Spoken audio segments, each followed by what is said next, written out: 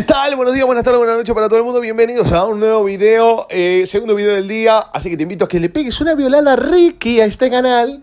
Bien, a que te suscribas al canal, a que le des una choteada en el botón de like. Porque eh, estoy, bastante activo. Estoy con. Estoy, estoy- ah, me toco, me toco la tetilla. Eh, te cuento que tengo la información de que en el día de hoy el cuerpo técnico estuvo hablando con el señor Hernán Rivero. Le dijeron, bueno, sabemos que tiene eh, contrato vigente, pero no te vamos a usar, así que eh, si querés ayudarnos, ahí hay un par de bloques, hay arena, hay cal, tenés mezcla también, así que si querés darnos una mano con la ayuda deportiva, no hay ningún tipo de problema, pero el tema dentro de la cancha no te vamos a precisar, muchas gracias. Este, no vamos a contar contigo. Lo mismo dijeron con Bentancur. ¿Qué pasa con Bentancur? Podríamos darlo a préstamo. Es conveniencia para el jugador y conveniencia para nosotros. No lo vamos a usar. El tema es que eh, le vamos a estar pagando el sueldo. Ese es un tema también, ¿no? Le vamos a estar pagando el sueldo, jugadores al pedo que no vamos a usar. Mirá, qué cosa de locos, ¿no? En un club, o va, en un plantel que está requiriendo y precisando, está desmadrado, está, está, está eh, con falencia de todo tipo de color, sobre todo de goles, damos a préstamo 2-9.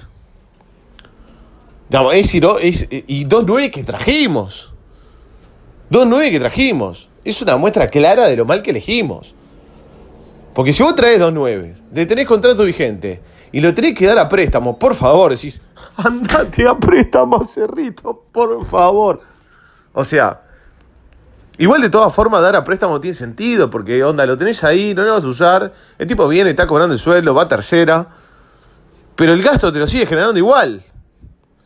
Entonces, claro, como que, ¿qué es lo que sucede? Si yo tengo que pagarle la rescisión del jugador, me cuesta un huevo. Aparte de eso, si le pago la rescisión al jugador, por ejemplo, imagínense pagarle la rescisión al jugador, tanto a Bentancur como a Rivero, quedan pegados. ¿Entendés? Estamos pagando rescisiones ¿por qué? Porque elegimos mal. Entonces, claro, es mejor tenerlos ahí, venir a tercera, venir a practicar, no te muevas mucho, cobrar Ricky, no, hacete el boludo y listo. Y bueno, dentro de todo, de repente lo sacamos a préstamo, donde vol- volvés a Boston River y te pago el sueldo, que Boston River te den un plus, cobrás más que lo que cobras acá, así que si querés, tomate esos días libres, no te vamos a usar. El problema es que tenemos problemas de elección. ¿Cómo puede ser que tengamos 2-9 y después lo estamos pidiendo por favor para que se vayan a préstamo? Es una cosa única en el universo.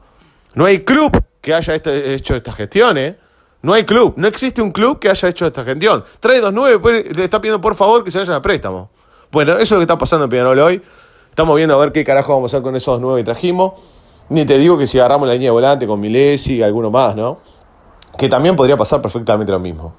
Porque si ahora está tratando de traer Sebastián Rodríguez, pa- ¿qué mierda vamos a hacer con Milesi? Cosa que no nos cuesta dos pesos.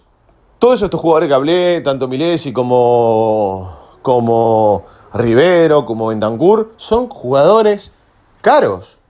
Caros de mantención, de, de mantener, no son jugadores baratos. Son jugadores caros. Porque un jugador caro es aquel que lo tenés, le pagás y no juega, no rinde. Y más si lo pones y te caga la vida. Bueno, en el día de mañana. Bueno, ya hablaron con Gargano también. Dijeron, Gargano, vos, ¿cómo te sentís para este año? Bien, me siento genial. Listo, contamos con vos. Ah, recordemos que el técnico dijo antes de venir que era admirador del juego de Gargano. A mí me hubiese gustado de que si, si, si lo hubiese visto en los últimos partidos, Gargano, a ver si era realmente admirador de Gargano, porque yo también soy admirador de Puyol, pero no juega más Puyol. Como para contar con él, le estoy hablando, ¿no? Bueno, en el día de mañana va a haber una reunión de cuerpo directivo, porque ahora eh, está de moda reunirse.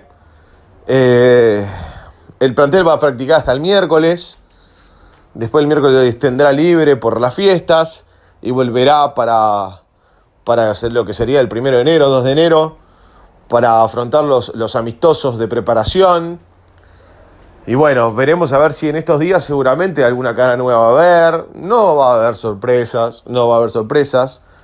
Con el tema de Abel Hernández, lo que sucede es que le hicieron una oferta y Abel Hernández dijo, te respondo.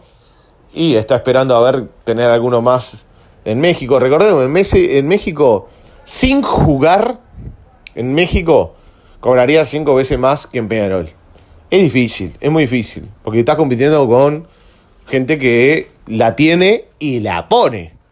Porque no es solamente tenerla, es ponerla. ¿Entendés? No quiero hacer una comparación eh, eh, ordinaria, pero no es solamente tenerla, es ponerla.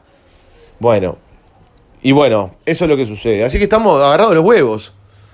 Eh, seguramente vendrá un arquero que asumo que lo va a venir a tapar a Tiago Cardoso. La idea es que taparlo a Tiago Cardoso. Digamos, van a volver a cometer el error de traer un, un golero extranjero. Ese es un error gravísimo porque vos en el arco estás ocupando un puesto de extranjero todo el tiempo. Es un error gravísimo.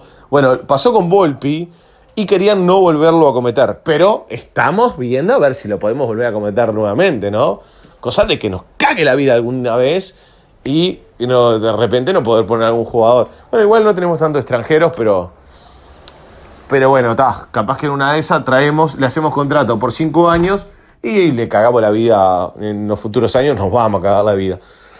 No entiendo por qué no nos quedamos con Tiago Cardoso, le damos una oportunidad a Tiago Cardoso, traemos quizás un, un, golero con experiencia para tapar a un juvenil, para cagarle la vida a un juvenil, y le damos por lo menos la, oportunidad a Tiago Cardoso. Estamos viendo si le cagamos la vida a Tiago Cardoso, pobre.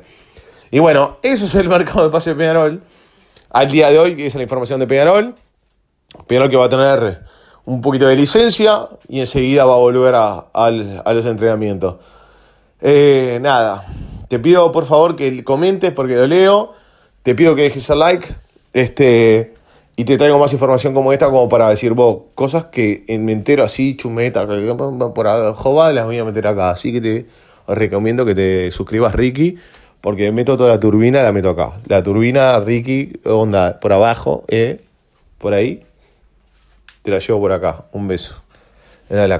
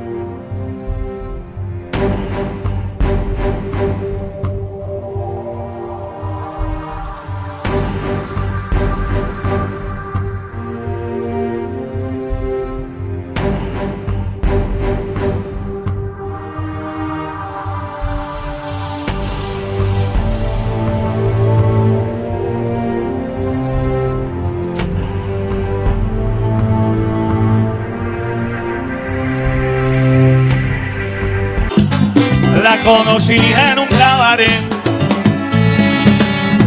Estaba de bailarina y yo inocente me enamoré de aquella bala perdida